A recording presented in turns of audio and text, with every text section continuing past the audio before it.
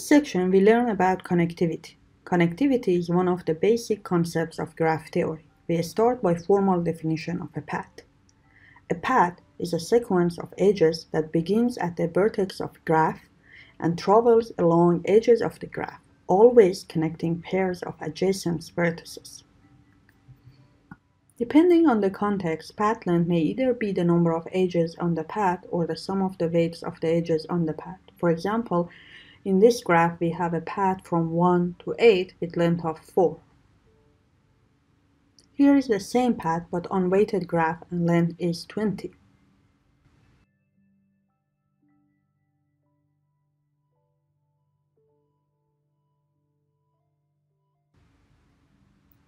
And here is another path from 1 to 8 in the same graph. Since a graph may have more than one path between two vertices, we may be interested in finding a path with a particular property.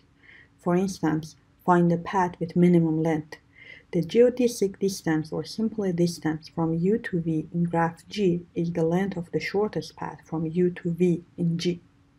We cannot always find a path between every two nodes of a graph. Consider this graph there is no path from 2 to 9.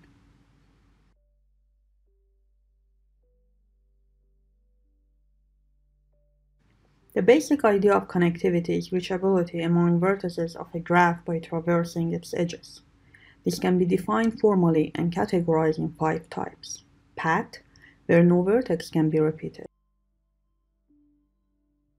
Trail, where no edge can be repeated.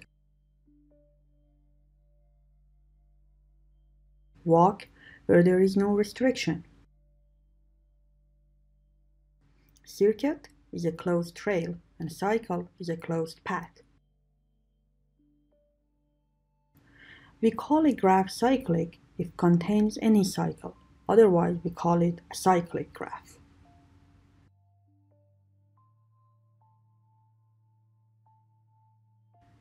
An undirected graph is connected if there is a path between every pair of its vertices.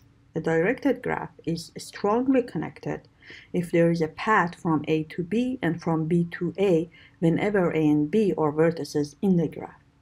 A directed graph is weakly connected if there is an undirected path between every two vertices in the graph. Which graph is strongly connected, G1 or G2? True, G1 is strongly connected. A strongly connected graph can be weakly connected, but the vice versa is not true. Do you know why? Here is an example of not connected graph. How you can make it connected? Yes, by adding an edge between 5 and 9, you can make the graph connected. This concept, the minimum number of elements nodes or edges that need to be removed to disconnect the remaining nodes from each other in graph is an important measure in studying the resilience capacity of a network. A maximal subgraph that is connected in a graph called connected component. Note that we cannot add vertices and edges from original graph to the component and retain its connectedness because it is maximal. So then it is clear that a connected graph has exactly one component.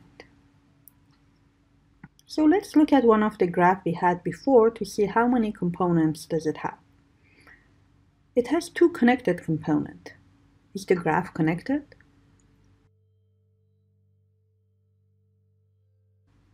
In this graph, the part separated by blue line is not a connected component. Do you know why?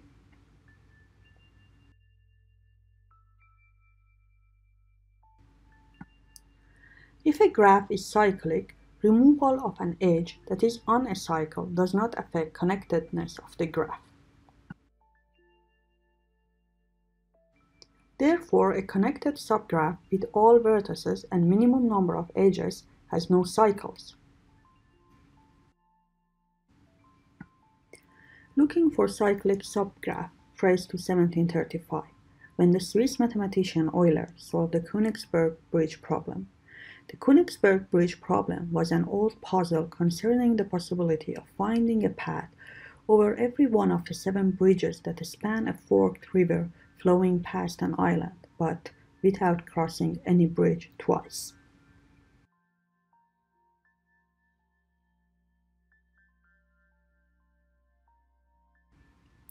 What Euler realized was that most of information on the map had no impact on the answers to the questions. By thinking of each bank and island as a vertex and each bridge as an edge joining them, Euler was able to model the situation using the graph you can see on the right hand side.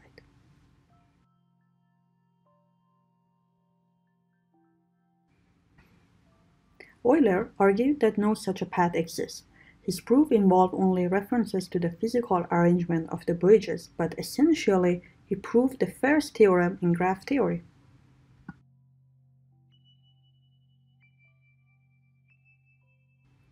We say graph G has Euler cycle if and only if every vertex of G has even degree.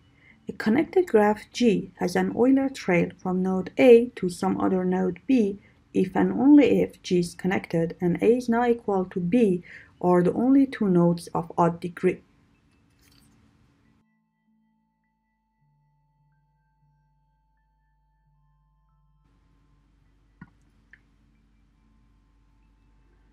Of the important classes of graphs is the trees. The importance of trees is evident from their application in various areas, especially theoretical computer science and molecular evolution.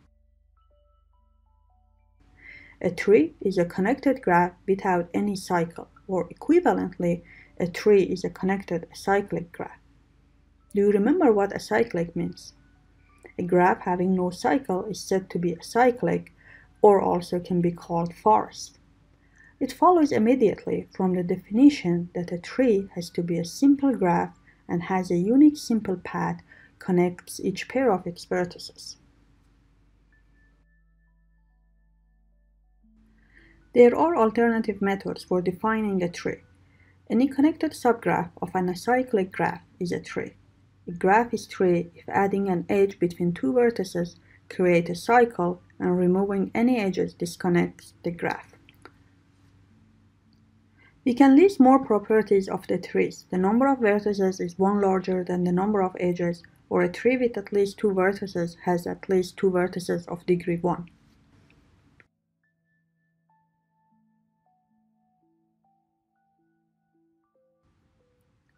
Sometimes you are given a graph, but you only need one way to connect the nodes. For example, a network with redundant connection. When you are routing data, you don't care about redundancy, just need a way to send the data to its destination. So if we are looking at routing decisions, we basically want to reduce the graph to a tree. The tree tells us exactly how we will send the data. Given a graph G, a subgraph of G that connects all vertices of G and is a tree, is called a spanning tree of G.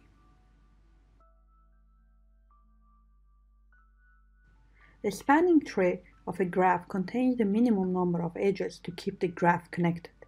An algorithm used to construct a spanning tree is non-deterministic in two ways. The choice of vertex u is arbitrary. The choice of the edge incidence on u to add to the tree is arbitrary. Therefore, we can have more than one spanning tree for each graph.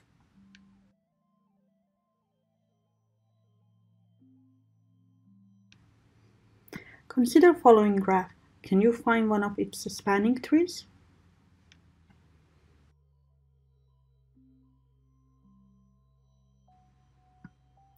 Here is one spanning tree of the graph.